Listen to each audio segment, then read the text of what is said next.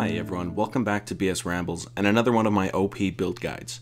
If you're familiar with my build guides, you probably know that the philosophy behind these build guides is a selfish one. These are high risk, high reward builds that will allow you to take the game into your own hands by making huge plays that will leave the enemy team traumatized. This Qhira build is no exception. This is a teamfight centric build focused on diving into the center mass of the enemy team, creating hysteria with massive damage output, control, and some tankiness to pull you through the other side. This build features one of the sweetest combos and most fun ever to grace Heroes of the Storm in comboing Revolving Sweep into Unrelenting Strikes, and I can't wait to tell you more about it, so let's dive right into the build. At level 1 we're going to take Fatal Wounds. This makes it so that while Blood Rage's bleed is at maximum stacks on an enemy, it will do 50% increased damage while they are below 50% health. Furthermore, after damaging enemies 150 times with the bleed, the duration will be increased by 2 seconds. You're going to get a crapload of value out of this talent over the course of the game.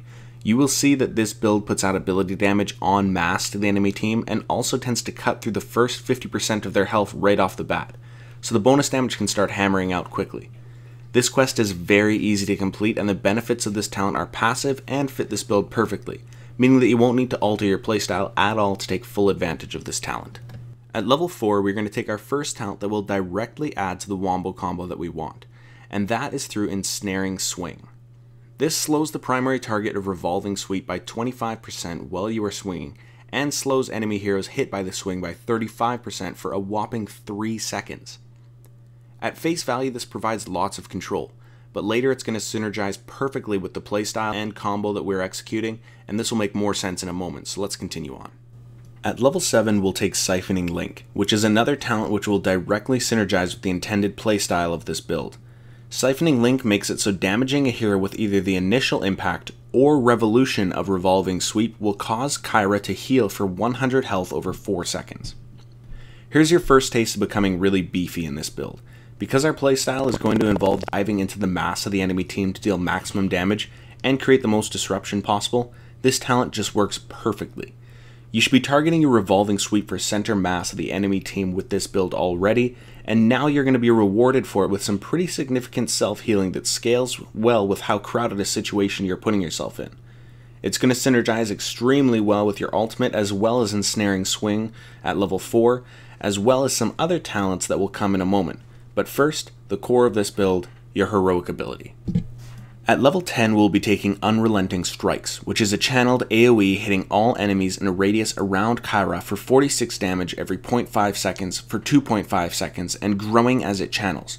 Upon expiring, there will be an additional 86 damage to all heroes in range as well as a 0.75 second stun. We go with Unrelenting Strikes here because it's going to deal the most total damage to the enemy team. The cooldown being 75 seconds isn't so bad because this build is intended to make you a beast in team fights specifically.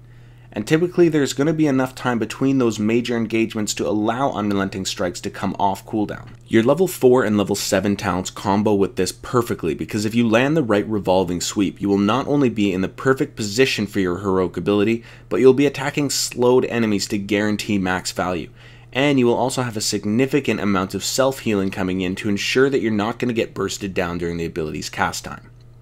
As an added bonus, the heal over time aspect of Siphoning Link will bait your enemies into thinking that you're low enough to be killed, when in reality you still have a significant amount of sustain incoming, and they're really just increasing the chance that they take the full damage of this heroic, including the 0.75 second stun at the end.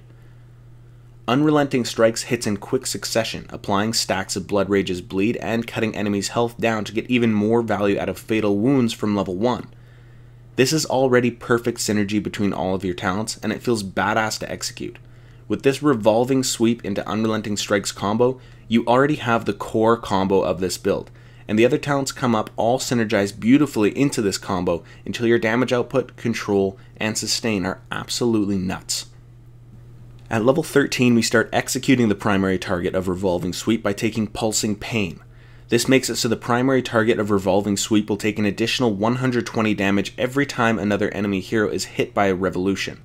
Pulsing Pain fits so smoothly into this build that you're going to start exploding your primary target and probably not even realize why. The extra damage to the primary target of Revolving Sweep, as well as your being placed directly on top of them, is going to make it all the easier to execute them with Unrelenting Strikes which should always follow Revolving Sweep at the start of a team fight. At level 16, we have some options, since all of your talent choices this tier will increase the effectiveness of Revolving Sweep, and therefore synergize well with the talents that we already have. However, in most situations, I recommend taking Booming Kick, which increases the stun duration of the reactivation of Revolving Sweep by 0.25 seconds, and makes it stun nearby enemies as well. This extra lockdown works great to better hold enemies in place for unrelenting strikes, stops you from taking damage since the nearest enemies are stunned, and it gives your teammates an opportunity to get in on the combo as well. If you're having trouble being bursted down by the enemy, an alternative here could be to take Swing Life away, which reduces the cooldown of Revolving Strike and gives you 2 seconds of 50% spell armor following the reactivation. That should be enough to push you through the enemy burst and allow you to get value out of unrelenting strikes if you were previously having trouble with dying. I only recommend taking this if you really need it, because our level 20 talent will serve a very similar purpose. And since I said level 20 talent, we might as well talk about it. At level 20, things get insane. We'll be taking Silent Killer, which makes it so the initial cast of Unrelenting Strikes silences all nearby enemy heroes for 2 seconds, and all damage against enemy heroes with this ability reduces its cooldown by 3 seconds. In this build, you already have the survivability and utility that is going to set you up for the perfect opportunity to get into the main mass of your enemies to execute the perfect ultimate. And now those enemies are going to be silenced for 2 seconds as well. That means you're likely in very little to no danger of being countered with Burst, and in conjunction with their being slowed by 35%, they will have no means of escaping either. This silence is why we're able to skip the spell armor from Swing Life away at level 16 and instead take the more offensive and team friendly stun talent. The silence also gives your teammates an opportunity to capitalize on their useless opponents. Lastly, this late in the game, you may well be coming up on more frequent teamfights, which means that the cooldown reduction given by this talent come in very handy to ensure that your insane AoE damage combo is going to be ready for every engagement. The cooldown reduction is actually a lot more significant than it sounds. If you can hit 4 enemies with the full duration of Unrelenting Strikes, it will be completely off cooldown and ready to use again. If you did manage to hit 4 enemies with the full duration, you probably already dominated that team fight, but an instant recast should be enough to put the nail in their coffins and would probably call for some B-stepping so they remember your name. This build focuses on a very easy and very awesome combo, which at the end of the game can be best summarized like this. On the engagement of a teamfight, you hit your primary target with Revolving Strike, causing damage and slowing them by 25%. As you swing around them, you heal for each enemy hit as you apply a 3 second 35% slow to them, and on each hit, pulse more damage through to that primary target. You reactivate Sweeping Strike, dealing more damage and stunning the primary target and their allies for 0.5 seconds.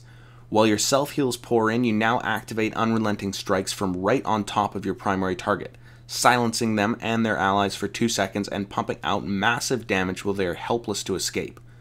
As the silence ends after 2 seconds, they will have a half a second to escape, or they will be dealt an additional burst of damage and suffer an additional 0.75 second stun at the end of Unrelenting Strikes. After that, every enemy hero caught in the combo will have 5 stacks of bleed on them and likely be below 50% health, meaning value is pouring in from fatal wounds at level 1. Because you now have so many active bleeds on the enemy team, you can reactivate Blood Rage for a big dose of healing, which you may well need after being in the center of the enemy team for this long. The fact that this all happens on the initial engagement is freaking insane. And what buttons do you have to press again to make it happen? You hit your E for Revolving Sweep, wait for the revolution to get value, then E again to reactivate, then R for your ultimate. E, E, R. It's that easy to execute this absolutely insane combo. After that, you can feel free to continue your onslaught. That might mean activating Blood Rage for a burst of heals, grappling to a new target to finish a kill, or even reactivating Unrelenting Strikes. Your options are still wide open because this combo only used two ability cooldowns. You still have three of your five abilities off cooldown to use at your discretion. Now, one little disclaimer here. I'm making this guide as Qhira is on the public test realm. So hopefully we don't see too many nerfs before she goes live and ranked, but if she does get through in her current state, this build is going to be absolutely nuts. Prior to level 20, the best answer will be stunning Qhira out of her ult, but once the silence comes in at level 20, it's going to be very difficult to deal with. I'll be frank, this is a one-dimensional build. It's an all or nothing strategy that hinges on your success. But that's what these OP build guides are about taking high risk, high reward builds that puts the success of the game into your own hands and allows you to carry. If you are still with me, thank you very much for watching, and if you enjoyed this video, please support me by doing the YouTube do, liking this video, subscribing to my channel, and if you want a further discussion, go ahead and leave a comment below. Thank you very much for watching, and have a great week.